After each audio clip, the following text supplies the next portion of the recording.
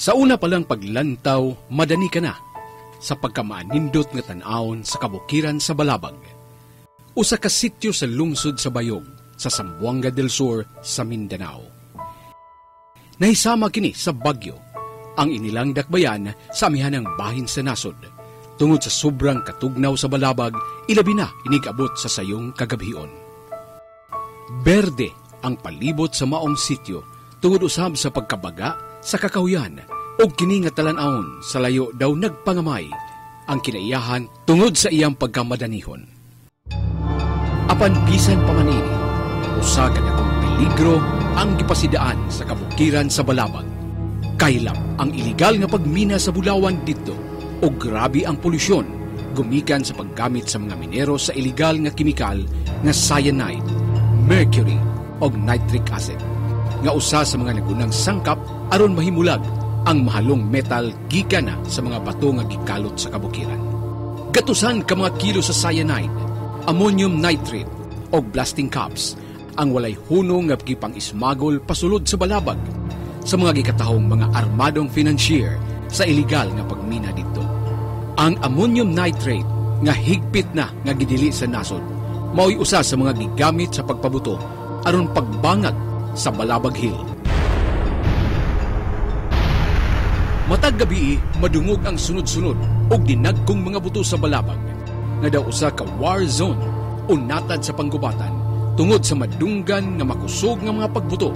Gikataho nga naglisod pag-ayo ang mga otoridad nga mapahunong kini tungod sa kakulang sa ilang mga personahe ug tungod usab sa pagkaylap na sa maong matang sa ilegal nga operasyon.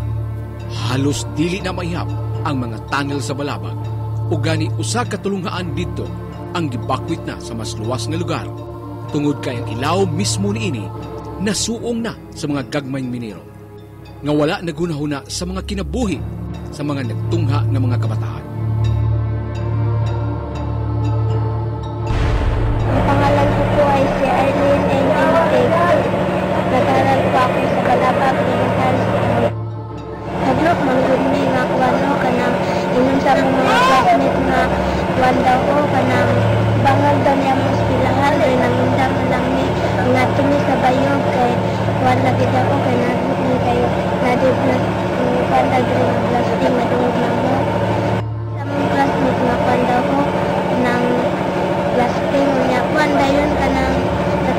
Niya ang mga ipambalhin mi man sa tawag nila nga kuwan o kanang TBI gamay dami di pambalhin Moto, hinakita namin nga mga yun ganang ma mayong na dito sa Balaba.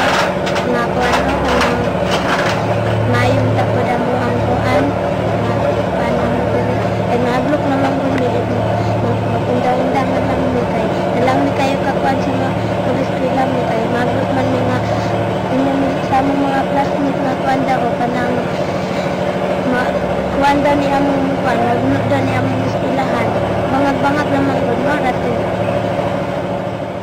Ngalan ko si Melinda P. Musqueda. Ah, nag-aaral ako dito sa Balabag Elementary School.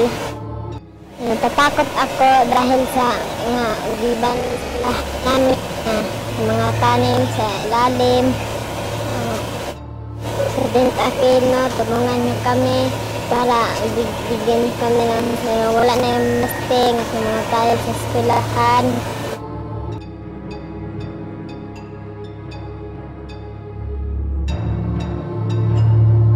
Natabunan na lang sa mga punuan sa kahoy ang sakit nga kamatuuran sa balabag ug ang walay hunong nga pagmina dito. Daghana ang mga kinabuhing nakalas sa mga nahugno nga tunnel sa mga minero nga kasagaran nalubong nga buhi. Ang uban nakita na lang nga mga patay na.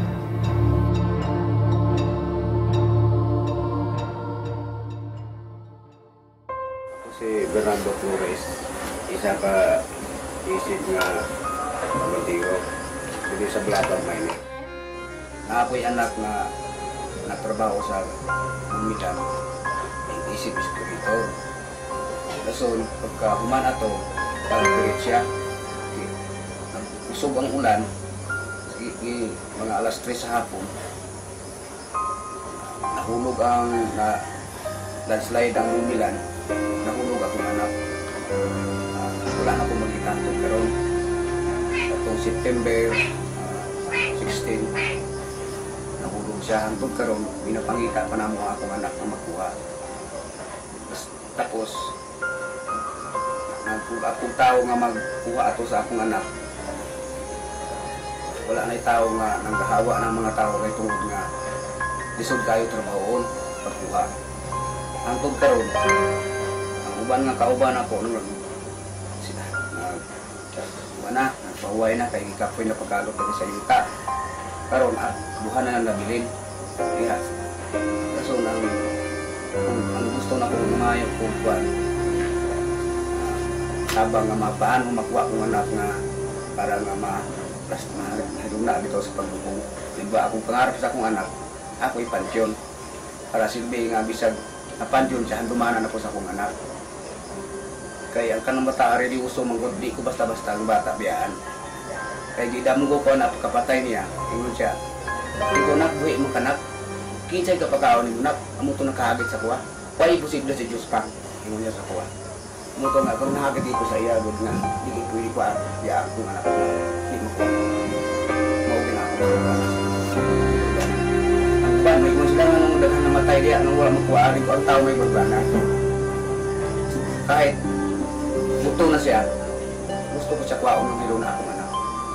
Maura na akong gikuan. So, nanawagan ko ni President Nonoy Aquino kung unsay gusto niya nga kung mahimo nga matabang niya sa kuwa nga makuha akong anak.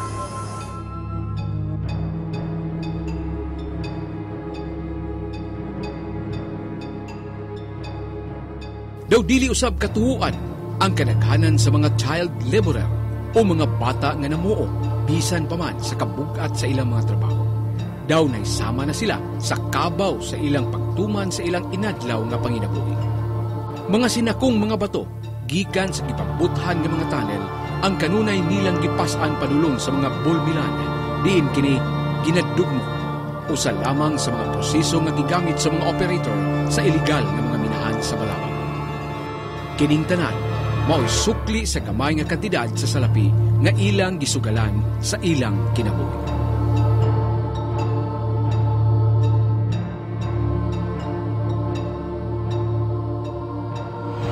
Ilan edad niyo mo? Kasi, 15? Sa pangalan niyo mo? ko, Juniper? Juniper ang sa'yo apelido? bunyag, Ha? lumbak, Taga-asa ka? ano, Taga? labag, Balabag. Nga nag-labor ka? o, Kakinsa, para kakinsa na? gulo. Kay mo no Silva? Umot lang ko, eh, Ah, so ba, ibaligyan mo sa iya ha? Hindi. Lata ito, Parata. Ah, oh. Pila edad niyo mo? 15, 15, lalaki o babae? laki. Tayo, taga ka sa Balabag. O, Si, isa yung imong gidakyanan. Naldo, Ha? Naldo, Ay mo ina, inahan. baby. Sige. Yes. Okay, sila. Dili usab igo ang gidaganon sa mga sundalo o kapulisan nga gipadalang ngadto sa balabag aron mapahunong ang pagkaguba sa kabukiran. Mao kini ang giangko ni Natalio Bilio, miyembro sa Special Civilian Active Auxiliaries NISCA sa Philippine Army, ilawom sa 18th Infantry Battalion.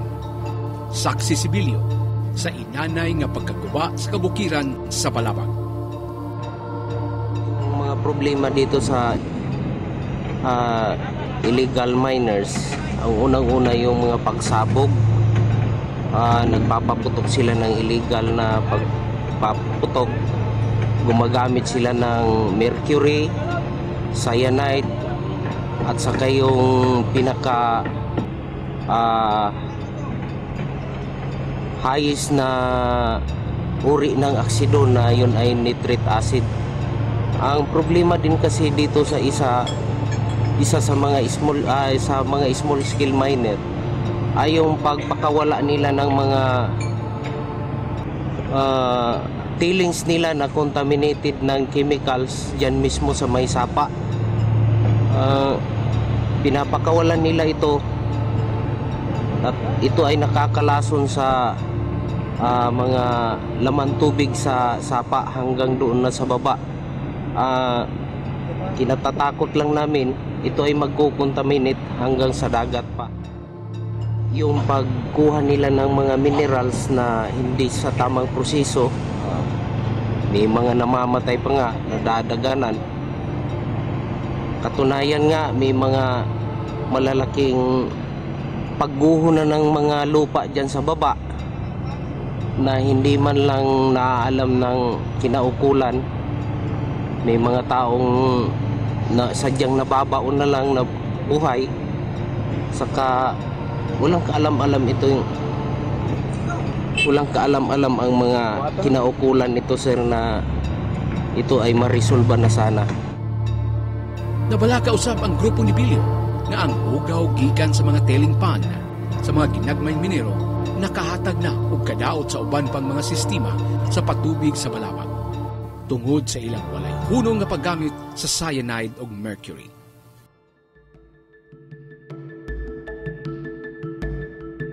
Tungod sa pagkaylap sa iligal nga pagmina sa balabag, daw nay sama na kini sa Gold Rush area sa Compostela Valley. Diin katusan ka mga pamilya ang nabuhi niining maong matang sa iligal nga panginabuhi. Wala usay permit gikan sa Mines and Geosciences Bureau, MGB, sa Department of Environment and Natural Resources, DENR, o uban pang mga ahinsya sa kagamhanan o kapulisan. Ang mga financier niining maong matang sa iligal nga pagmina. Sila wala usay gibayad nga buhis ngadto sa kagamhanan.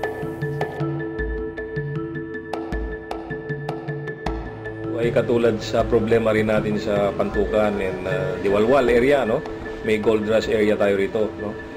Na since um, uh, I assume office here, na-realize ko na may may problema yung uh, area na yan about this, no? Naalarma usab si Haseldo sa nitabong pagbakwit sa tulungaan sa balabag tungod sa pagmina sa mga gagmayng minero sa ilaw mismo niini. bagong uh, RD ngayon ng PNP, uh, RD Director Estiles, na we are asking their help kasi this involves yung explosives, ano? Pipila ka mga organisasyon, grupo, mga magbabalaod ug ingon man ang kompanya nga miauhag na sa kagamhanan sa hingpit nga pagpasirado sa mga ilegal nga mga minahan sa tibuok nasod tungod sa peligro nga ikadulot niini.